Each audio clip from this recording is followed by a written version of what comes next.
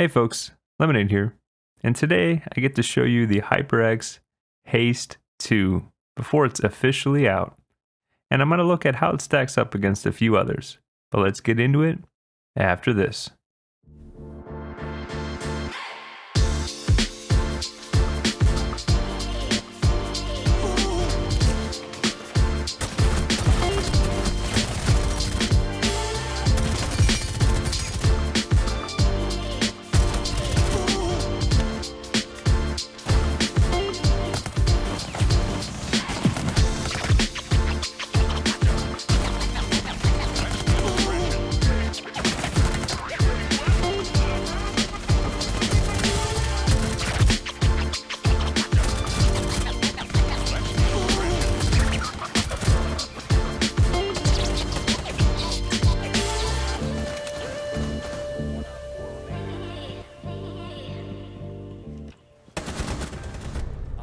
Okay, so I'm to put the specs right up here for everyone to see.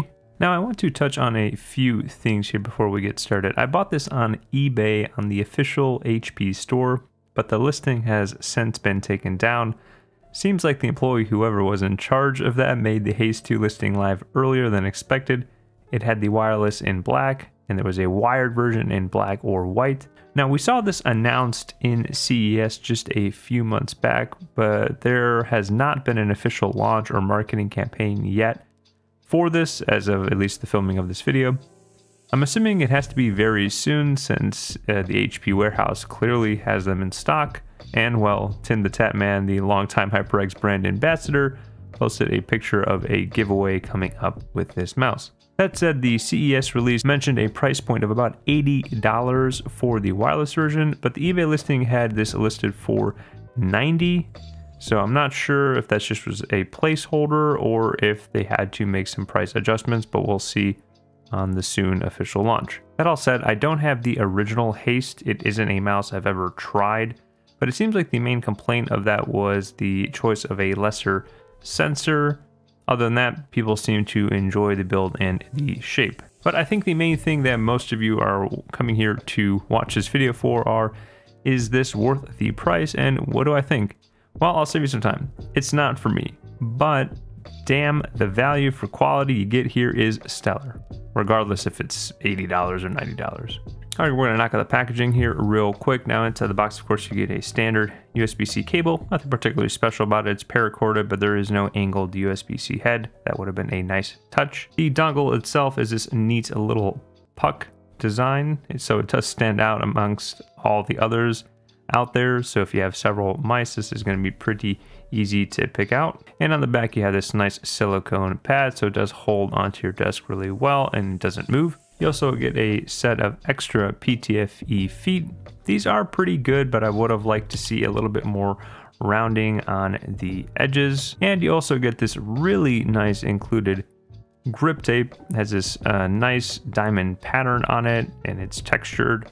And it's about as thin as Corepad grip tape, which in my opinion is the best out there. So it doesn't take away from the overall shape. Now, both the grips and the extra skates are very nice to see, especially for the overall price. And again, I hope more and more manufacturers start including these goodies. So build quality overall feels exceptional. There is zero flex. It's very similar to the Harpe Ace mouse that I reviewed recently. It's as rigid as can be. No rattling. The main clicks are tensioned nicely with very little uh, side to side play. Now we do have a few points of concern. First, you can activate the DPI switch if you grab it like this and just give it a light squeeze. You'll see the uh, RGB on the scroll wheel turn from this yellow to green when the DPI activates. As you can see there. So obviously you're not going to be doing this normally, but if you move your mouse or toss it around or throw it or in a bag or something like that, it can activate that DPI button. And other than that, there are the below standard side buttons. Now the placement and sizing is actually pretty good, but they do have a lot of post travel. Really the most in any mouse I've tested recently, as you can see, just kind of really dig in to the shell itself. It's hard, kind of hard to see with this glossy black plastic, but they really do give in quite a bit into the shell. So if you're playing games like Fortnite or other games where you just have a lot of high side button usage, they're going to obviously work. They're just going to kind of feel a bit mushy and cheap. And if we're looking at the Rocket Jump Ninja weight to size ratio, we're looking at 0.78 to 1 ratio. So it's definitely very optimal for its size and 60 grams in this smaller package works perfectly. That said, the weight is just a touch front heavy. Now, in terms of the sensor, it's using the current top-end sensor, the 3395, like the Pulsar X2 and the Vaxee XE, so this is a big step up from the previous Haste. And from what I graphed, it has a tight spread and it's very accurate on how it tracks updates and in terms of its frequency response. And based on the graphs, it also seems motion sync is enabled but there is no toggle for it in the software currently, so it would be nice to see that in a future firmware update. Now, in terms of the switches here, we have HyperX's new HyperX 100 million rated click switches. Yeah, we're not really sure what they are, to be honest. Now, previously, uh, HyperX has worked with TTC, specifically using the TTC Golds in the previous haste. So I wouldn't be surprised if they worked with TTC on some new switches.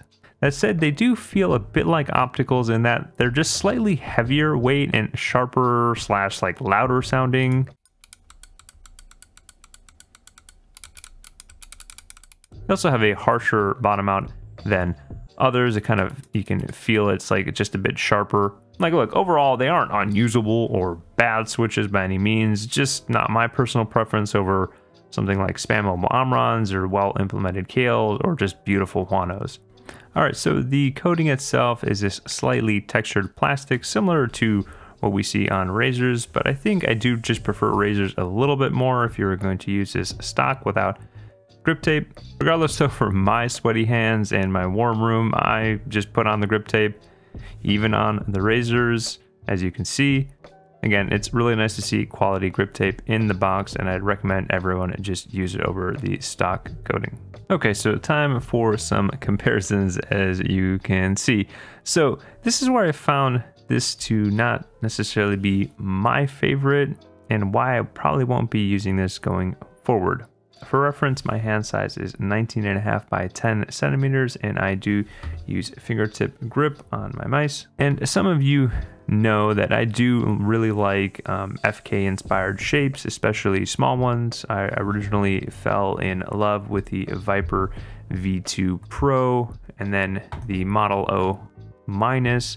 Recently, obviously, you may have seen on my channel the uh, Vaxee XE and the Finalmouse in small, the last legend. And see, all of these mice really put this one in a weird spot. One issue is just how flat it is on the sides, which is usually a good thing for fingertip grip, but the bigger issue is just how wide it is in this area, especially the grip area here. As you can see, it measures just a little over about 62 millimeters, which compared to these is actually quite a bit of a jump. All of these, when measured, are pretty much 60 millimeters or below the Finalmouse is as low as 54 and a half millimeters in its grip width. The X2 Mini is about 57.8. And even the bigger guys like the Model O2 and Viper hit 58 and a half millimeters and 60 millimeters respectively. Now that two millimeter or more difference really does just make this feel kind of densely wide in comparison especially for fingertip grip.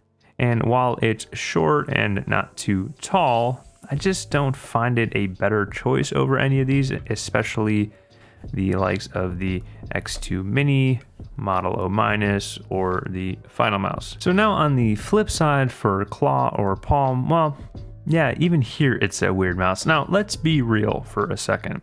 If you claw grip, I'd honestly say mice like Endgame Gears XM2 Wii, uh, the Lamzu Atlantis here, or Pulsar's X2 in the medium, this is the mini, but the medium version, are just way better choices for claw because they have those more dedicated rear humps and you just get better support whether you're aggressive uh, clawing or more of a relaxed claw. Now, can you claw this? Oh, for sure. And I think some people like the kind of FK style shape with the lower and steeper hump for that. And if you're going to choose this style of shape, I think a relaxed claw grip is going to work best specifically for the Haste 2. Now, aggressive claw for it just doesn't really work just because how flat it is. There's not really a lot of curvature to kind of get a dig and a hold into it.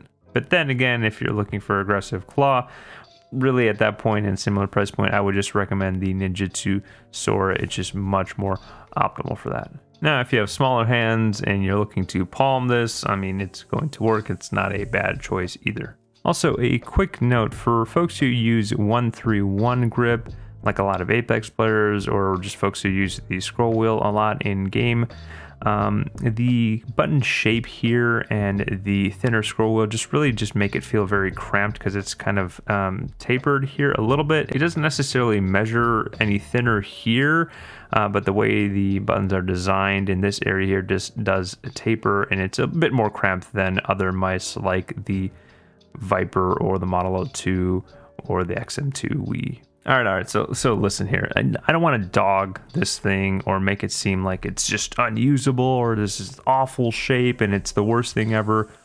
But I just don't feel it really beats anything, at least that I've tested with this shape. Now, if you love the previous haste, then you're gonna feel right at home with this with some seriously nice upgrades. But for anyone else with any of the other mice I mentioned, I'm not really thinking you're gaining much by switching from them to the haste. Overall, if you just say, F it, I'm gonna buy this thing anyway, or maybe you're watching this video later, you've already picked one up and you just kind of wanted to see some reviewers' thoughts on it, you picked a good mouse. Don't worry. For about 80 bucks, it's really solid. You get a ton of value from the fit and finish of it, the internals, the box content, sensor performance, the whole nine. It just wouldn't be my number one recommendation to someone. Oh, and the software isn't dog water like Asus Armoury Crate, so that's a big plus. And on that note, folks, all my socials are down below, along with any affiliate links and discount codes. Of course, if you had a good time with me today, likes and subs are always appreciated. Leave a comment down below, let me know your thoughts. But until the next Fresh Squeeze video, stay thirsty, folks.